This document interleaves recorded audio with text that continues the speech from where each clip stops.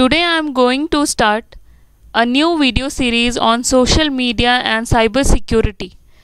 It is a broad topic from the chapter of information technology IT from class 10th and uh, it is a topic which is being taught in all the classes whether in CBSE or ICSE it is being taught and in college level also this topic has been introduced in bachelor's and master's degree. Because there are some rules and regulations which are implemented uh, by the Indian constitution and there are there is an IT law. Also that if anybody will post any any other person's uh, pictures or videos then he or she can file a case against that person. So we'll come to the topic that is cyber ethics and cyber law for IT class 10th. Now, what is ethics? The determination of right and wrong. Determination means it is a measurement through which we can determine the right and wrong. Right and wrong and following the right behavior using morals is called ethics. Means what are the things are which are right when we are using social media then whether we should use e- other person's email id or photos or phone number or whether we can we will be able to make any pictures or videos of another person. So are these things legal or is there any rule to prevent these things? Yes of course there are some rules which are implemented by the indian constitution so ethics for computer users. What are the ethics? Ethics means rules and regulations. And what are the rules are there? Rules and regulations are there for computer users. All computer ability to use computer system with an effective efficient and ethical and lawful manner. Means we should use everything ethically. If we are for example if students are going to computer they should use the computer very carefully. They should use all the things from keyboard to mouse to monitor to light or fan everything that these are the property of school. We should not harm these things. Or in other cases when we will go any other computer lab like for computer for online examination then um, those things are observed in under cctv camera. So we should carefully use all those things. Those things will come under social ethics. Responsibility of computer users toward the profession organization and society is discussed by considering following points. What are the responsibility of a computer user? Computer user computer users should not Uh, should purchase only legitimate licensed software product means we should purchase only those software products those have license. For example when we are installing ms office then we should have a proper ms office software package setup file in which we have the license key. If we will have the license key then that uh, ms office will work fine. And if you will install if you will try to install your ms office package from google then you will find that you are getting error or you are getting uh, some illegal things that you have you have to pay more money. So we need to purchase a legitimate license product in which there are license keys are there and for which we need to purchase we need to we need to uh, spend some money. User must install the software upon the terms and conditions stated by the software company. When we are installing any software then at that time we are having some rules and regulation and upon which there is a tick mark to agree on those rules and regulation so before installing our software we need to read those terms. And if we are comfortable then only we need to click on agree and we need to install the software. Users should not install more number of copies of the software than a authorized number of license copies available. For example if you have a quick heal antivirus and three users are there and that is for three user then you should you should use only once. Means you should uh, you are able to enter the license key once only. Because that is for three user. Three user will install that antivirus. Should not download software illegally from peer-to-peer network. Internet auction or blog in peer-to-peer network there is no concept of server. Every computers are connected with each other and they have the equal capability to share the network or to use the network. So in that case we should not download the software or we should not use any other one's blogs or auction. Computer users should not perform unauthorized access means unauthorized we should not log in into another one's user account to take some personalized information. Now there what is cyber crime you can see this is the chart cyber crime crime against person. If anybody is doing any crime against an individual then it also comes under crime against a person crime against individual property. If anybody is trying to take your personal information or trying to take for example in our computer lab we have mouse keyboard. If anybody is trying to take those things then those things will also come under a crime. Crime against government for example we can see in newspapers that uh, there are in government schools computer labs many people are used to uh, take advantage. They used to they used to th- theft in the schools. Means they used to take the parts of the computer the laptop or mouse or keyboard whatever are there and cyber stalking or email spoo- spoofing. Means there are people nowadays they used to stalk some people. Stalk means to follow. They used to follow some people uh, means social media follow. Means socially what they are doing what they are posting what they are updating they used to follow those things. This is called cyber spoofing. It is also a mental disorder.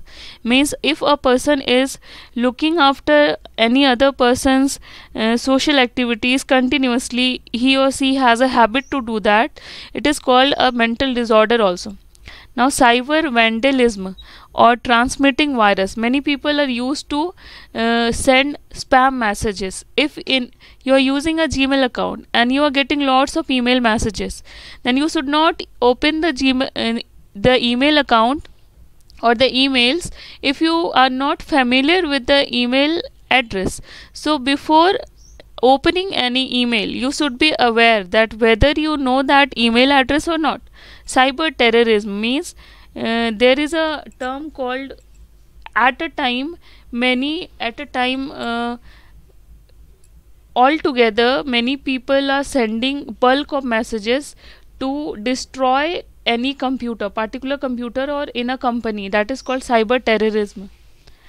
Now what is software piracy piracy means copy is nothing but copyright individual violation of software created originally by individual. Means somebody has created a software and somebody else has copied it and selling that in the market.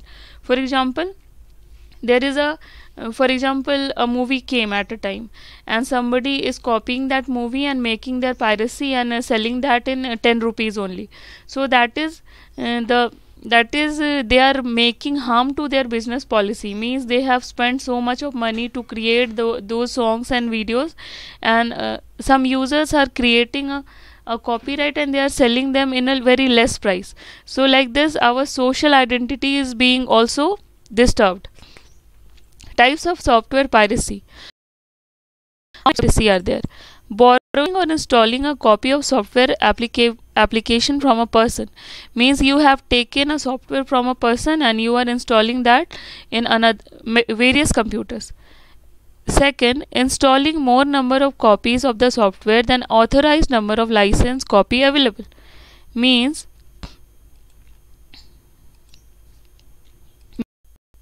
now the third type of software piracy is installing and selling unauthorized copy of software while purchasing new computers means you are installing a unauthorized copy of a software.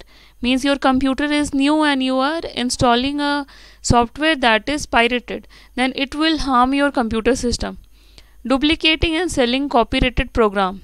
Means somebody has made some program by putting uh, lots of efforts putting their time and efforts energy and you are copyrighted those things and you are making anything downloading software illegally from peer-to-peer network internet auction or blog, unauthorized written CDs or DVDs for mu music, various software and utilities. About this only I have explained that how people are copying anybody else data. This is a image of a cyber theft means means there are person sitting there means there are lots of other ways through which a people can harm a person socially uh, means cyber using cyber things like using computers using IT things.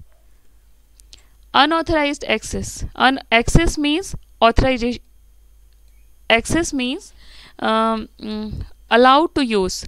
Gaining access without user permission is known as unauthorized access. Means there are three types of access. Uh, access is of three type. That is let me write read sorry let me write read then write and then execute. Execute for x. So there are three type of access either we can read some file or we can write there or we can execute. We can write and we can execute that program and get the output. So the example of uh, authorization is pdf file. You can only read the pdf file. Whereas in doc file you can read and write at the same time and like any programming file you can read and write and execute both. So attempting to get information like email bank account intellectual or other any personal and confidential information from unauthorized person is known as accessing the machine illegally. If anybody trying to get access to your computer he or she is trying to take your confidential information through your email, through your bank account, through your intellectual property, then that comes under unauthorized access. Now, example of unauthorized access. Hacking financial bank account related to related information. You have you are trust you have a trust on some person you have a friend or you have a relative and you have given your personal detail. You don't know how to use those things. These things are occur generally in some village area where people are unaware about the things and they used to ask for the information that whether how to use these things and how they can use those bank account and they can link to their account to the bank. So at that time any other third person is getting that information and they are harming that person. So stealing organization intellectual property. You are working in a some organization and you are taking their personal information and using that illegal monitoring of information on by other user including mails and messages. You are checking after the mails and messages of the company. Mails and messages of the company. Illegal use or break of login and password of other user. You are breaking the password causing intentional irritation to other user by means of damaging software and important information. You are intentionally means knowingly you are taking information of other user and you are harming them. What are the ethics that computer professionals should follow? So there i had made you understand about what are the things what are the things are there in social ethics and what are the things we should follow.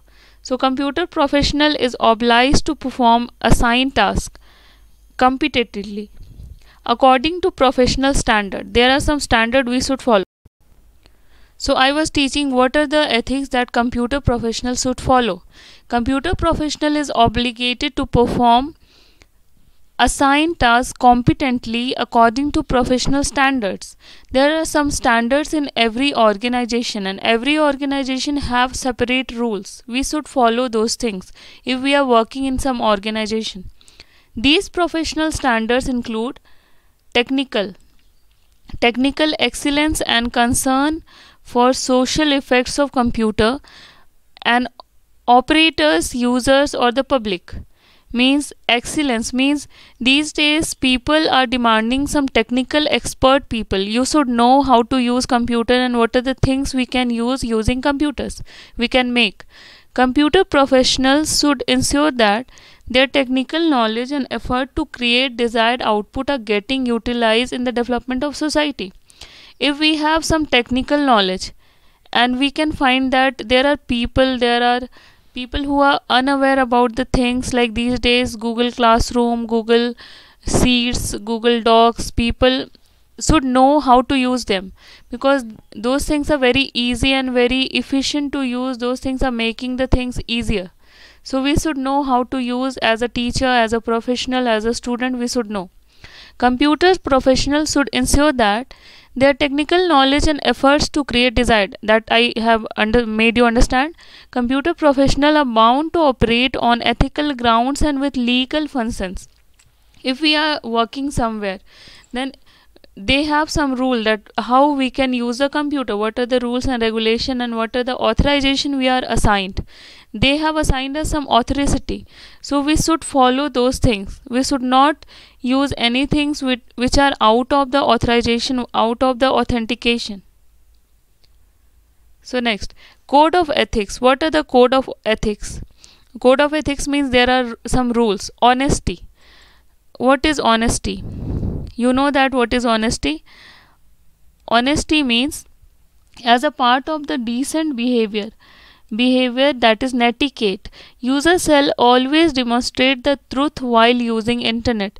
Means we should if we are using computer if our organization has given us computer they have given us computer to work then we should work there only.